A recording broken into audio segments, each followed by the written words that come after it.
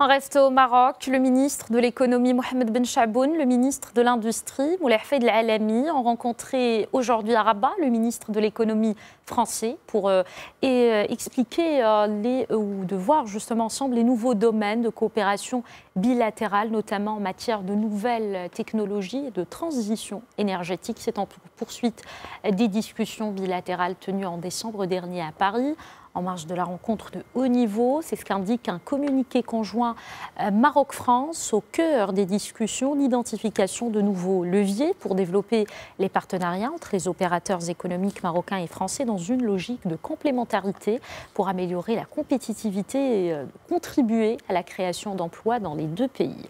Bruno Le Maire partage euh, les propositions de la partie marocaine pour l'élaboration d'un nouveau pacte de production conjoint France-Maroc, mutuellement bénéfique aux deux parties. Je propose euh, d'écouter le ministre français.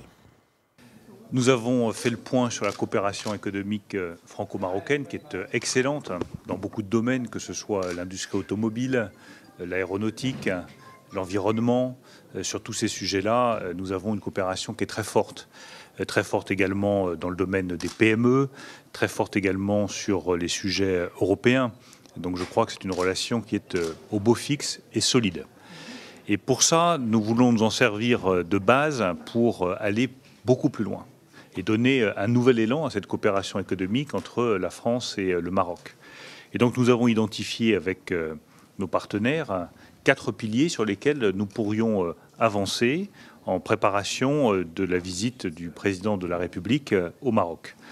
Le premier pilier, c'est précisément le pacte productif qui aujourd'hui euh, est sur la table en France. Nous y travaillons. Le président de la République précisera euh, les orientations de ce pacte productif euh, d'ici euh, quelques semaines en France.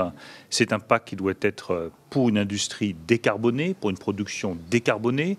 Et nous voulons réfléchir avec nos amis marocains sur la manière dont nous pourrions intégrer le Maroc dans cet objectif d'une production industrielle décarbonée avec de nouvelles coopérations industrielles qui seraient possibles. Le deuxième euh, grand volet, c'est les PME. Nous sommes prêts euh, à simplifier, à rénover le dispositif de soutien aux PME de façon à ce qu'elles restent bien euh, au cœur de la relation économique entre la France et le Maroc.